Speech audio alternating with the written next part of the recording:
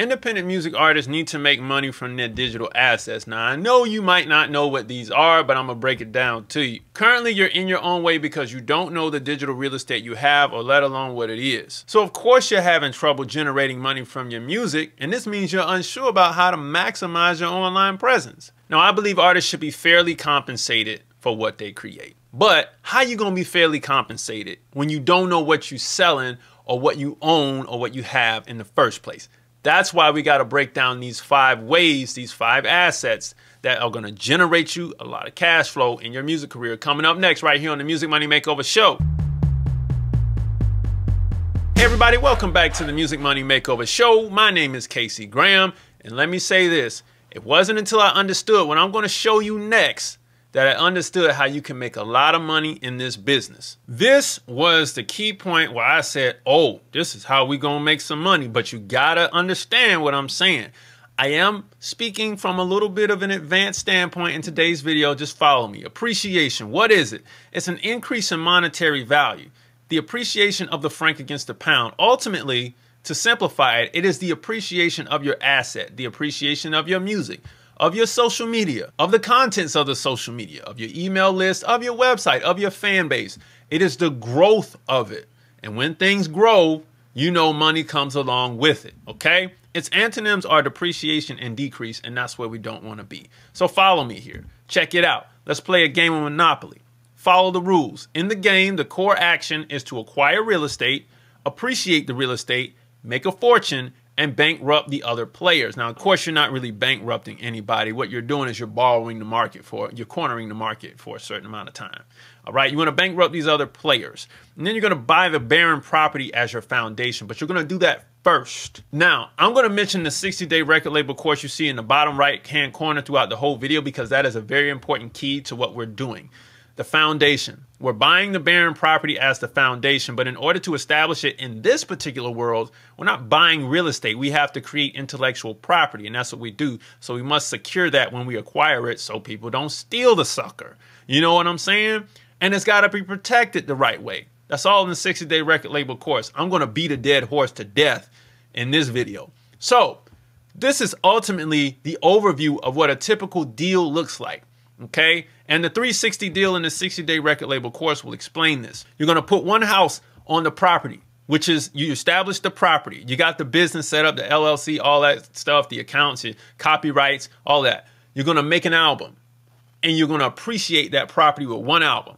And then you're to put a second album on the property. And then you're going to put a third album on the property. And then you're going to put a fourth album on the property. By then, now nobody's doing greatest hits anymore, but you can do a compilation album or you can do like a album of all four together and sell it as a, like a collector's item pack or whatever you do at level 5, you can do that. That's the hotel like okay, we built all we built the foundation, the four sides.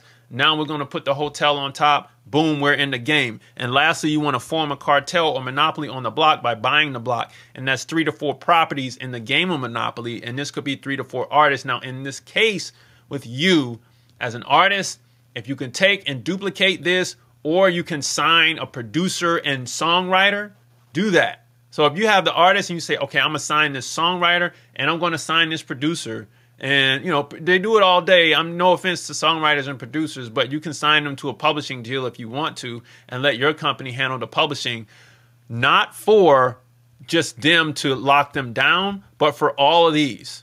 Like hey look i'm going to pay you more money and buy you out of your publishing of these albums. And you do it after i'm just giving you real hardcore game you do it after the fact. Not to be sleazy but some people might need some money, so you just go ahead and buy them out. Buy them out early, and now you have monopolized your entire block. Easier said than done, I know. Now, our first asset is the music. We established the foundation with the 60 day record label course, but music is our foundation building block. Independent music artists can use their music to sell their viewpoints and guide their fans toward making purchases through the music, through insinuating certain things.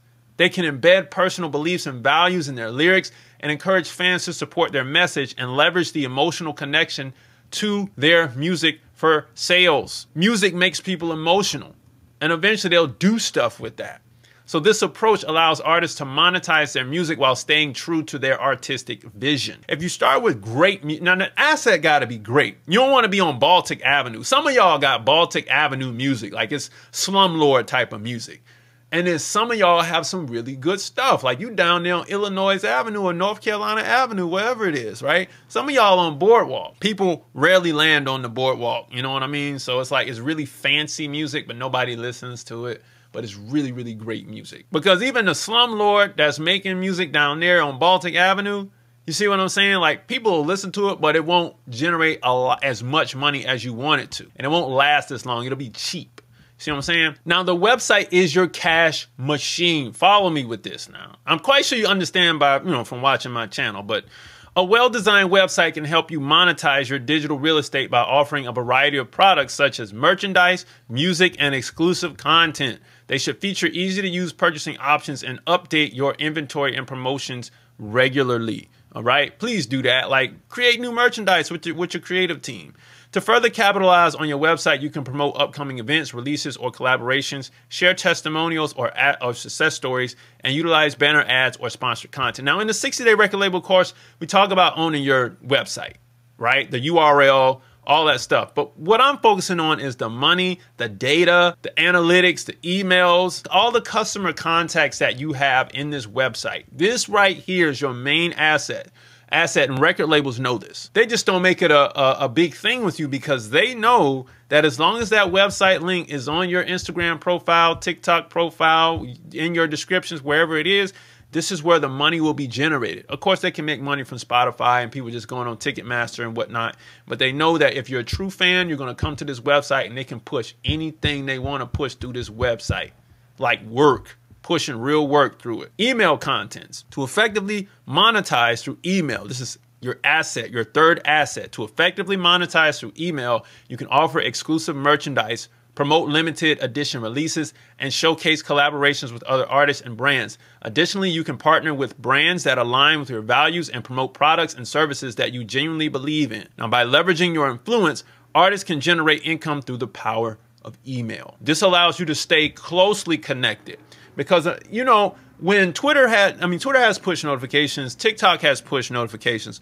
We get this. You, your fans may get it, they may not. But now that your email list is here, you can put stuff in it, and we're gonna get to social media in a minute, but you can put stuff in it and advertise with it. You can push directly to your fans, to the phone. They're gonna see it a lot more than they would see, you know, a social media post. And so once they see that, you're in, you're winning. We haven't even gotten on. We haven't even gotten to social media yet. Only thing we did was put out some music. We built the website, and we already secured three assets with the 60 day record label course after we built the foundation. I mean, this is digital real estate at its finest because when we jump into the social media posts, I'm not even going to hit the content on this one. The next asset is your description section. We're talking about your following now, but in the grand scheme of things with the digital real estate, everything is monetizable. That's why on the bottom right hand of the screen, you see the 60 day record label course ad. But I could put any ad there I wanted to by just having real estate on the screen available. I could put something back here in, you know, in the video back here. If I wanted to, I'm not because it's going to look tacky, but I could do that. Now, artists can monetize their social media presence by actively engaging with fans and followers in the comment section, responding to questions and feedback, and showing appreciation for fan support. And you want to set a one to two hour window to respond after your post, after you post, because after a while, once you start getting big, you don't have time to do to respond to everything. It's too much. It's too much. So in the description or caption section, you can include relevant links for products, services that employ persuasive language to encourage engagement. And when you have influence, people will go where you tell them to go. Ultimately, as artists, you have to understand this. So take some of the creativity that you have with the music and be and be creative in the way that you're going to sway your audience to come and purchase from you. This allows you to win with your digital assets. Now, now we're going into the social media content and I'll further explain what I just said about my advertisement on the bottom right. Now, monetizing social media content involves artists representing their personal brand or endorsements through their wardrobe. Promoting merchandise or collaborations, and creating a unique and recognizable image. They can also share authentic experiences and opinions, inspire and motivate their audience, and discuss relevant topics and issues that push followers to ultimately make a purchase. Showcasing live performances or events, collaborating with other artists or influencers, and sharing behind the scenes content creates a story and allows you to monetize your social media content. Now, I sell in everything I do. It, it just is what it is. But as an artist, you're not going to do that. You know what I'm saying? You're not going to go as hard body as me. But this is what I do. But you can sway people creatively. Buy this t shirt, buy the ticket, join the virtual concert. You see what I'm saying? Go do this, whatever you want them to do. And they'll go do it. Oh man, that, t- that, that hoodie is tight, man. Where can I get one? Oh, hit the link in the bio. Go get you one. And your website is generating cash for you, whether it's a Shopify or whatever it is you have. That's what you're going to do with your social media. On top of that, you can sell the attention, which is the economy we live in. You can sell this attention to people who want to utilize the attention. You see what I'm saying? Who want to be in front of the eyeballs. So, Will focusing on my monetization compromise my artistic integrity? Not really. You'll have to tailor things a bit for the sake of integrity, but as long as you don't dig too deep into doing things solely for money, you'll be fine. You'll be fine. Like, I know it's a lot to think about, but also when you start to see them checks, you're to be like, all right, shoot, what else can we do, man? And that's what you're to be. How can I maintain my authenticity while promoting products and services? Make sure those products relate to you and what you stand for. This is when you step outside of like the merch that you want to give to the people and have them buy. When you got to sell other people's stuff, make sure the brand deals that you do managers with your artists or artists with the brand with the brands, make sure it correlates with the audience and your personal lifestyle interests. You see what I'm saying? What if my audience perceives me as a sellout?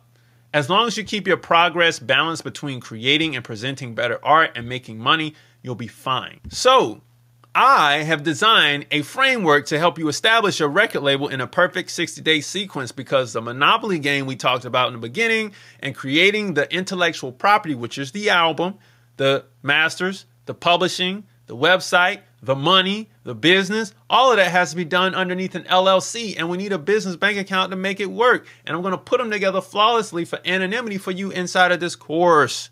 And then we're going to set up your records and publishing division to collect domestic and international publishing royalties without the middleman taking 15% because you're going to need that 15% down the line before you actually do a real publishing deal. All right? Utilize the contract templates to get you in the game the right way. Really understand what these contracts are so that you know, like, okay, I don't want to do a deal like that. Or if it comes across my table, I'm doing something like this. All right, look at everything that's covered. BMI, ASCAP, Sound Exchange, the MLC, Music Reports, Harry Fox Agency. It just goes on and on. All right, ultimately, this is what it costs. Not much, a little bit, for a lot. And I'm going to save you 12 months of time because I've did this several times with so many people, and it takes 12 months, but I've put it in a magic sequence that will take you 60 days to make it happen. And I've done it this way as well for several other people. Okay, now here's what I want you to do after book a call with me if you got some questions, or let's build a strategy together so you can win. I want you to do that. I'm here for that. I'm a consultant, I'm a strategist. Utilize me. All right, you can do this down below. And if this is your first time watching the channel, grab the free stuff below. Now, this is where I want you to be. Ultimately, you're going to achieve some consistency in your online presence and engagement. But then what, what's going to happen is we're going to make the targeted marketing and promotional strategies actually work because they're tailored to you. Once you understand what your audience wants and who you are, we can make that happen.